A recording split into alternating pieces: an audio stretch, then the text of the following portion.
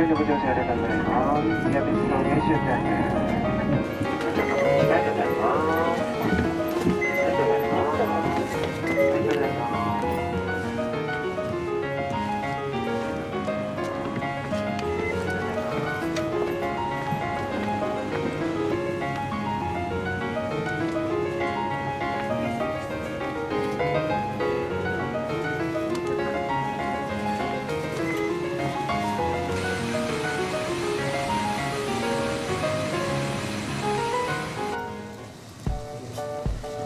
11月は山の季節ノンダックレイです。というわけでヤビツ峠です。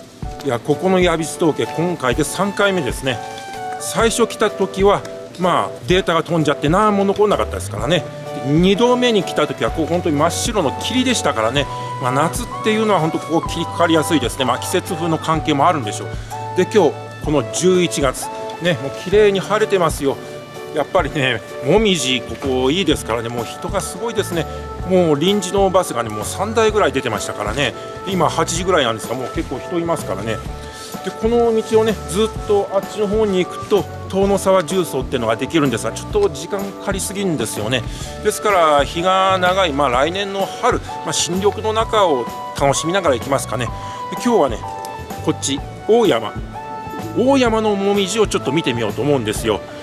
まあねもみじを見るというよりは人の頭を見に行くっていう感じになるかもしれませんけどね。まあとにかく登ってみましょう。次から次へと臨時のバスがやってきますね。本当普通普通の季節っていうかハイシーズンでなきゃこれはね見られない光景ですよ。こんなにバスが矢櫃峠来るっていうのは。でまあ登る前にねやっぱりここのまあ名物というかなんていうか丹沢サイダーいただきましょう。自販機で買えるんですよねここでね。おちゃんと入ってますね。売り切れてません。助かります。よいしょ。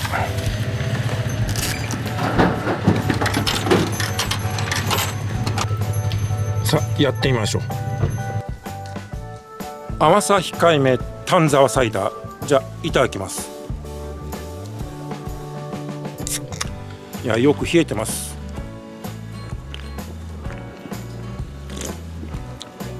うん。うまいですね。三ツ矢サイダーっぽい感じですけどね。それよそれよりもやっぱりなんか軽い感じがしてねぐっといけます。まあねここの売店がねこれから山に入る前の最後のね自販機ですからね。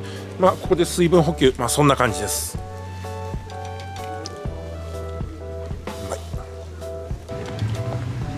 相変わらずこっちはまだ通行止めが続いてますね。まあ来年の春頃までねちょっとなんか工事で無理っぽいです。なので今日も迂回路から行きます。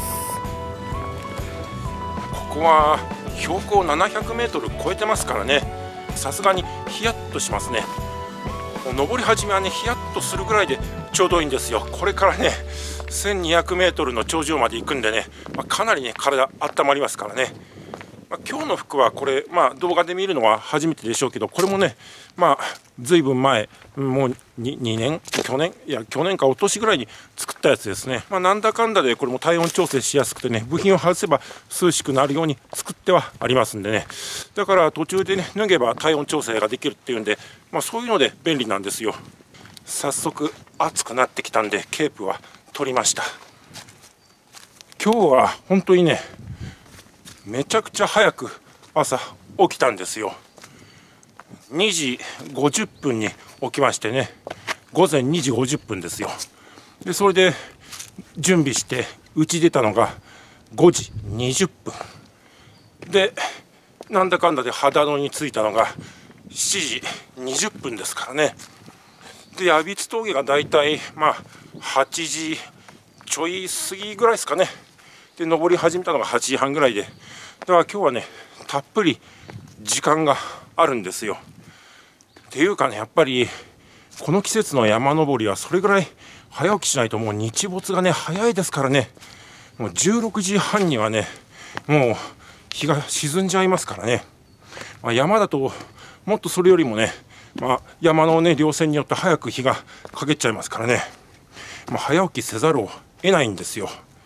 ただねそのおかげでねこういうね朝のね山のねピリッとしたねシャキッとした雰囲気が楽しめるっていうのはいやこれはいいですね。今日は本当にね空気の抜けがいいですね。カラッとしてますよ本当。ただなんかこの下界の方はちょっと霞んでますね。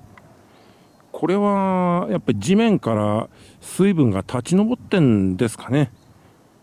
今日は日曜なんでね、工場とか自動車の排ガスでけぶってるってわけではないと思うんですよ。まあ、ここは東京じゃないしね。こっちの方、これ、海ですかね。あこれなんかの、あ、入り江ですね。いや、本当に遠くまで見えますね、今日は。素晴らしいです。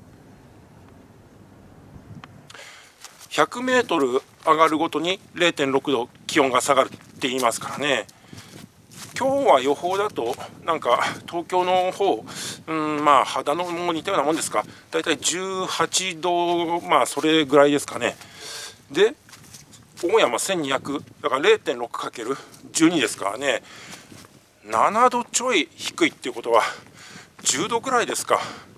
でも最高気温で18だから、それ以外の時間帯は10度切ってるわけですね。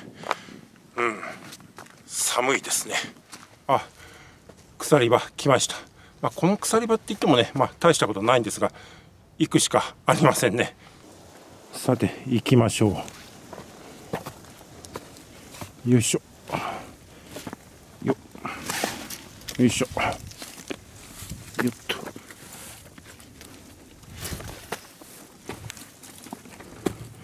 まあ矢櫃峠から大山に上がる道でやばいのはここだけですからね。よいしょ。まあ、ここまで登ってきちゃえばもう大丈夫です。よいしょ。はい、難所通過。紅葉は別にもみじだけってわけでもないですね。本当にね、私植物詳しくないんで、これが何の木だかようわからんのですが、いや、これもいい感じに赤いですよ。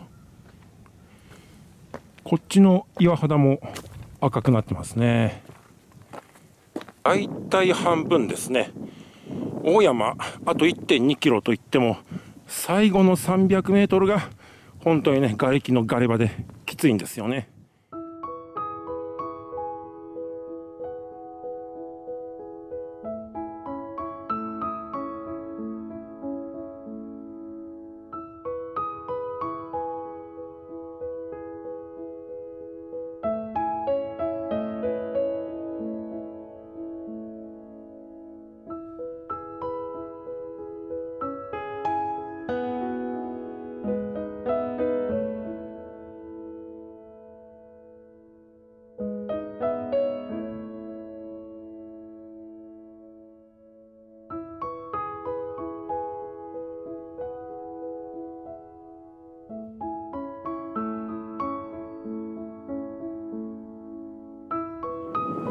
さっきに比べてだいぶ人が増えてきました。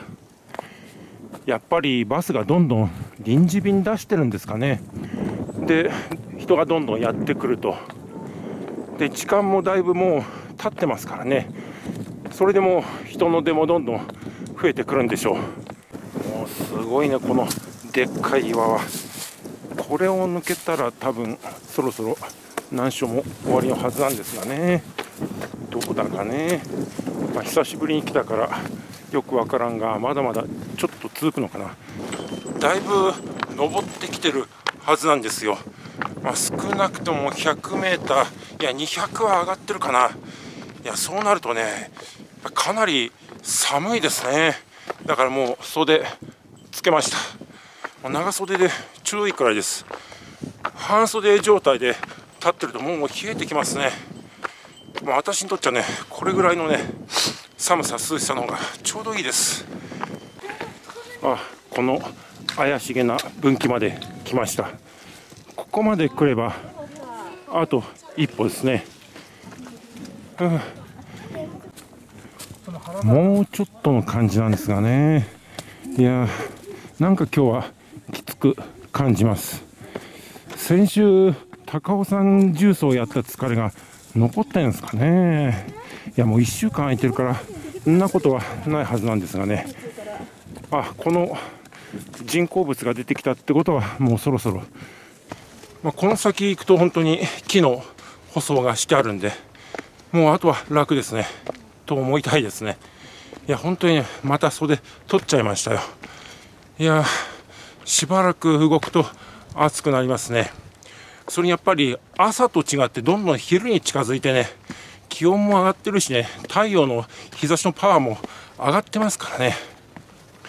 いや本当に登山の時のね体温調整っていうのは難しいですね。特にこう秋から冬春にかけてはね止まっては寒いしね動くと暑いですからね。なんかね今日今一つ調子が出ないっていうのはやっぱり人が多すぎるってのありますね。まあもみじそれにねこういう登山に向いたシーズンっていうのが重なってますから、まあ、それは覚悟してのことなんですがね山に入るっていうことはねまあちょっとでもいいから世俗と縁を切りたいわけなんですよね。まあ、そこにね他の人が来ると、まあ、世俗を持ってくるわけでなんかいまいちって感じなんですよね。でまあしょうがないですよね別にここは自分だけの山で私有地じゃないですからね。木のすのこの舗装が終わるともうあとちょっと行ったら表参道との接続になります。そこからが大変なんですよね。上がってきた階がありましたね。霧がかかってなきゃこんなにねいい景色なんですよね。まあ風の音入ってると思うんですがね結構いい風も吹いててねいやちょっと寒いですね、まあ、この寒さも爽やかさのうちです。いやいいもんですね。ここに来ると表参道上がってきた人も加わりますから人が増えますね。まあ乱暴に言って2倍になるって感じですかね。いやいっぱい人が上がってきますね。下から上がってきた人あと矢櫃峠から来た人も合わせてでかればで渋滞する、あ、しょうがないですねこれはもう。